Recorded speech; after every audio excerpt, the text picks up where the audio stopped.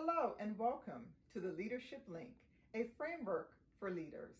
The curriculum that you will be studying is being brought to you by the American College of Nurse Midwives, ACNM, in collaboration with the Johnson & Johnson Foundation. I'm Sherry Sase Tufor, Chief Executive Officer of the American College of Nurse Midwives. ACNM recognizes the need for strong midwifery leadership to both advance the profession and change healthcare systems to be more equitable, more inclusive, and patient-centered.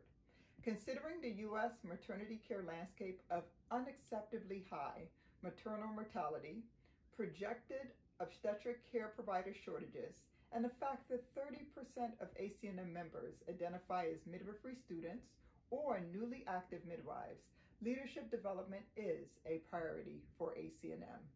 This partnership with Johnson & Johnson has allowed ACNM to explore aspects of leadership unique to midwifery.